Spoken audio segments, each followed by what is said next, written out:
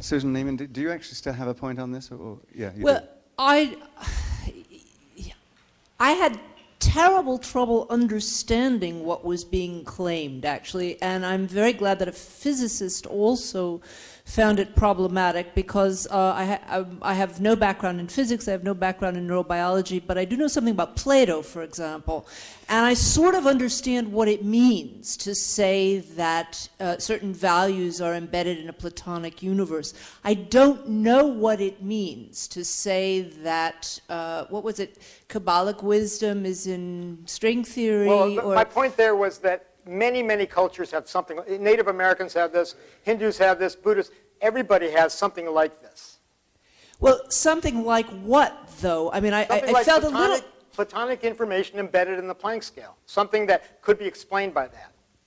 Um, look, I felt a little bit like Richard Dawkins talking about religion, that is, and saying, you know, if we have perfectly straightforward explanations of this, why do we need to appeal to religion? can't I felt like appealing just to the religion and the philosophy because I didn't see what work the science was doing.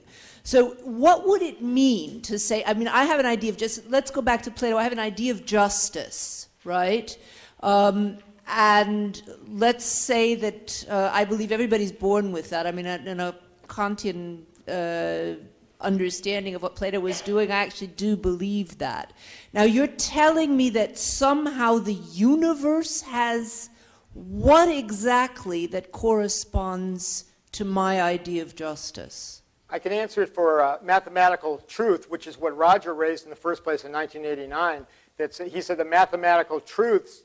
Platonic values, exist uh, not, in the not just in an abstract realm, but physically in the, in the structure of the universe. And then later, ethical and aesthetic values were added in, as well as the, the, the precursors of consciousness.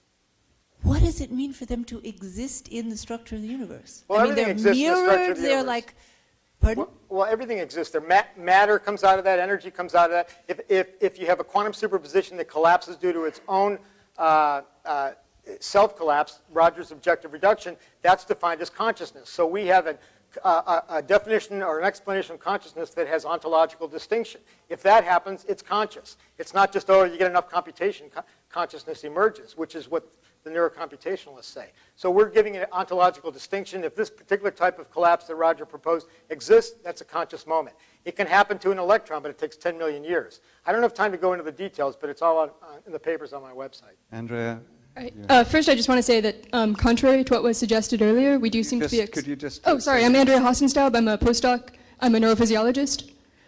Uh, so we do seem to be exploring some fairly far-flung regions of hypothesis space today. Um, uh, so um, it seems to me that what you said is that gap junctions are required for the generation of the gamma oscillation, and that the gamma Well, oscillation I- I is the neural correlate of consciousness. So if this is what you're saying, then it's extremely easy to test. And in fact, this test has been performed hundreds, thousands of times every day. The test that you would perform is to administer a drug other than an anesthetic that also has the side effect of blocking gap junctions and look at the effect of administering this drug on consciousness. Um, well, the drugs that they use for prophylactics against malaria, the quinine and quinine derivatives, are extremely potent gap junction blockers. They get into the CNS, and they have dozens of kind of horrible effects on people's um, psychology, ranging from delusions to outright psychosis, but they do not uh, coincide with loss of consciousness. Is this consistent with your theory?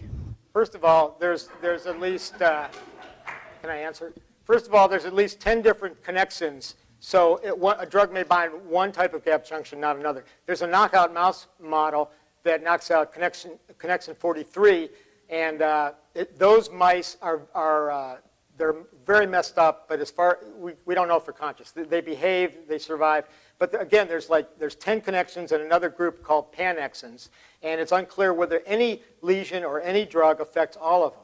So uh, what you said doesn't invalidate what I said. Um, And- it's true the that, that I- the uh, connexins, um, that there are dozens of them, but there's, for the most part, with one or two exceptions, only one is expressed in neurons. That's connexin 36, which is blocked by quinine. Uh, connexin 43 plus a bunch of pannexins. I reviewed this not too long ago. Okay, this is getting a little bit sophisticated for me.